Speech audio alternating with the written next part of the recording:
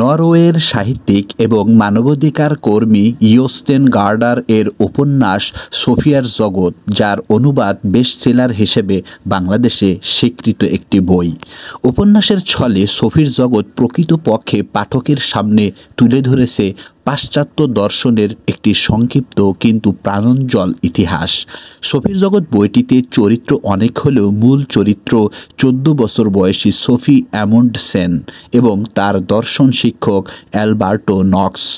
এখানে এই কিশোরী মেয়ের জীবন, স্কুল আর বন্ধু জোয়ানাকে নিয়েই চলছিল ঠিকঠাক।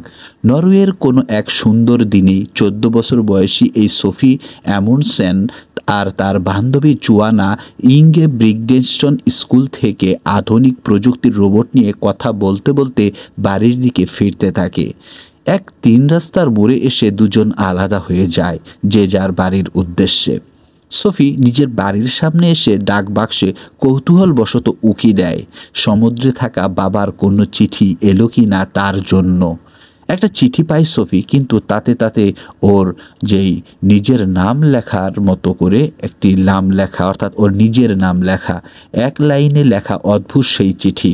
ঠিকানা সোফি অ্যামনসন তিন ক্লোজার ক্লোজ, সোফির নামে চিঠি। চোদ্দ বছর বয়সী এই নরওয়েজীয় কিশোরী অবাক হলো। চিঠি দুটোতে দুটো প্রশ্ন উল্লেখ করা ছিল, তুমি কে এবং পৃথিবীটা কোথা থেকে এলো? আলবার্টো নক্স নামের এক রহস্যময় দার্শনিকের লেখা আশ্চর্য চিরকুট দুটোই সেই কৌতূহল উস্কে দেওয়া প্রশ্ন দুখানি। সূত্রপাত ঘটিয়ে দিল প্রাক সক্রেটিস যুগ থেকে ছাত্রে পর্যন্ত পাশ্চাত্য দর্শনের রাজ্যে এক অসাধারণ অভিযাত্রার। অর্থাৎ সফি আয়নায় দাঁড়িয়ে নিজের প্রতিবিম্বকে জিজ্ঞাসা করে, একই কথা কিন্তু সোফি এও জানে প্রতিবিম্বটা আর প্রশ্নকারী সোফি এমন সে নিজেই। কৌতূহলবশত আবার ডাক বাক্সের কাছে যায় সোফি।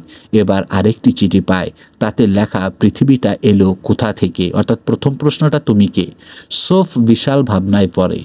এক চোদ্দ বছরের মেয়ে কীভাবে জানবে পৃথিবীটা কোথা থেকে এলো? সোফি এটাই ভাবতে থাকে। অনেকগুলো দিন কেটে যায়। সোফি জানতে পারে বেনামি চিঠিগুলো মূলত একজন দার্শনিক আলবার্টো নক্স এর কাছ থেকে আসে ওর কাছে। দর্শন করছে অনেকখানি এগিয়ে সফি।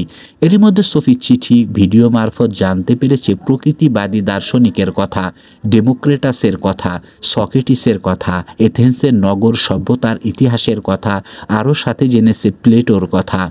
হঠাৎ করে সফির কথাবার্তা আর চালচলনের খানিকটা পরিবর্তনে সফির মা ভাবে হয়তো মেয়েটা ড্রাগ নিচ্ছে। না হয় বয়সে বড় কারও সাথে হয়তো প্রেমের সম্পর্কে জড়িয়ে গিয়েছে। যেহেতু অধিকাংশ মারাই মনে করে টিন এইজে যদি তাদের প্রেমের কোনো একটা প্রতিফলন তাদের ভিতরে ঘটে, তাদের আচরণেও সেটি অনুভব করা যায়। এইসব নিয়ে কথা বলার মাঝেই সফি একটা চিঠিতে তার দর্শন শিক্ষকের নাম জানে আর সেদিনই হিলডা মোল্লার ন্যাগ নামে তার সমবয়সী এক মেয়ের হারিয়ে যাওয়া স্কার্ফ আবিষ্কার করে নিজের বিছানাতে। সফি বেশ অবাক হয়। এটা কীভাবে সম্ভব? সফির বাসার পিছন দিকে একটা ঝোপ আছে, তার ভিতরে সফির নিজের জন্য বসার একটা জায়গা আছে, যেটা দেখতে অনেকটা গুহার মতো। এটা সফির একান্তই গোপন জায়গা। কিন্তু এই ঘটনার পর থেকে সফি ডাকবাক্সের বদলে এই যেই গোপন জায়গা, এই আস্থানাগুলোতেই তার চিঠিগুলো সে পেতে থাকল। প্রত্যেকটি চিঠি প্রান্ত ভেজা আর দুটো ফুটো থাকে তাতে। সফি বুঝতে পারে তার উপর কেউ নজর রাখছে। এমনই একদিন বিকেলে গুহায় বসেছিল সফি। এমন সময় খেয়াল করে গুহার পেছনের ঝোপ আর বেড়ার ফাঁক দিয়ে একটা বড় সাইজের ল্যাব্রাডার কুকুর মুখে একটা খাম নিয়ে সফির গুহার মুখে রাখছে। সোফির নড়াচড়া টের পেয়ে কুকুরটা বেড়ার ফাঁক দিয়ে বের হয়ে ছুট দেয় বনের মধ্যে। সোফিয়ার পিছনে পিছনেও তার পিছে সোফিয়া চলতে থাকে, কিন্তু ধরতে পারে না কুকুরটিকে। পরদিন চিঠিতে জানতে পারে কুকুরটার নাম হারমেস আর ওই প্রতিদিন চিঠিগুলো এনে গোপন জায়গায় রেখে যায়। সোফি আরেক দিন সুযোগ বুঝে কুকুরটার পিছনে নিয়ে বনের মধ্যে গিয়ে একটা লোকের কাছে চলে আসে দৌড়াতে দৌড়াতে। লোকের অপরপারে একটা ঘর দেখে সোফি ভাবে এটাই সেই দর্শন শিক্ষকের বাসা। পারেই একটা নৌকা দেখতে পায় সোফি। ওপারে যেয়ে তাড়াহুড়া করে ঘরটায় ঢুকে সোফি। কিন্তু কেউ নেই সেখানে। ফেরার সময় টেবিলের উপর নিজের নাম লেখা একটা খাম দেখতে পাই সফি। নিবে কি নেবে না, সেই চিন্তা করতে করতে চোখ পড়ে এক পেতলের আয়নায়। পিতলের আয়না একটু ব্যতিক্রমভাবেই তাকে ভাবিয়ে তোলে।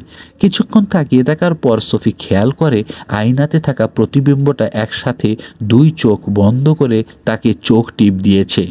সফি ভয় পায়, নিজের নাম লেখা খামটা নিয়ে সফি দৌড়ে বেরিয়ে আসে। কিন্তু এসে দেখে তাড়াহুড়োতে নৌকাটা পারে না, উঠানোতে ওটা এখন লোকের মানে লেক যে আছে সেই লেকের মাঝামাঝি ভাসছে। সফির প্রচণ্ড ভয় লাগে।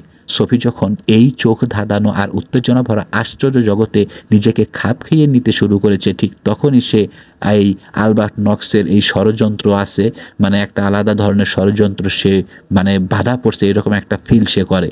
তাহলে সে কিসে গেছে? মানে তার ভিতরে চিন্তা হয় যে আমি আসলে মানে কোথায়? আমি আসলে এতদিন এগুলো কেন ভাবলাম? আর এই আলবার্টো নক্স ইনি কে ইনি কি তাহলে কোনো ষড়যন্ত্র করে ওকে আটকে ফেলেছে? এই উপন্যাসে আর কি পাঠক পড়তে পড়তে এরকম বিভিন্ন ধরনের চিন্তা তাদের মাথায় আসতে পারে।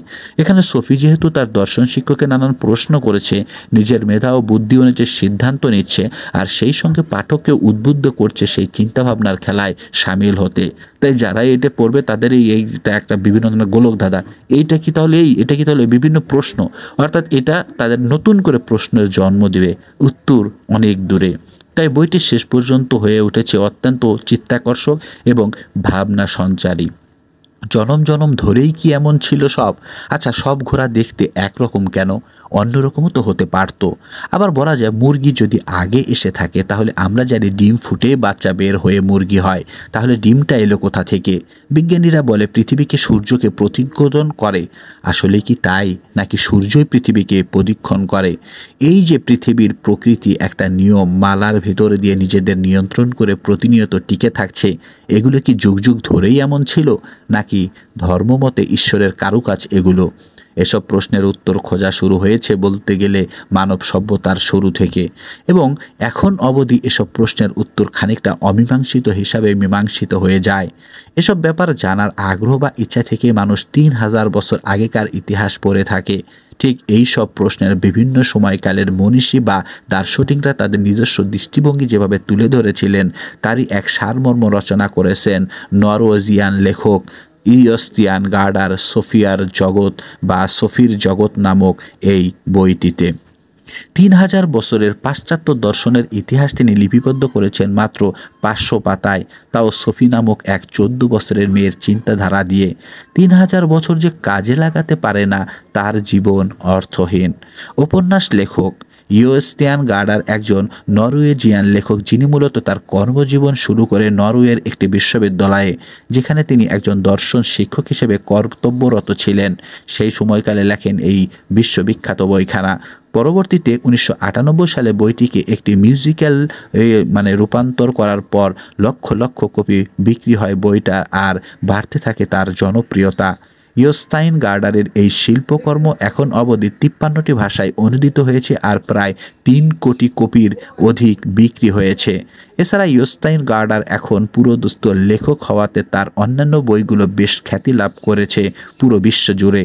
দ্য সেলিটারি মিস্ট্রি আর দ্য অরিজিনাল গার্ল তার অন্যতম সেরা বই। এই বইটির বাংলা অনুবাদ আপনারা সবাই যারা পড়তে চান তারা পড়ে দেখতে পারেন। ধন্যবাদ সবাইকে।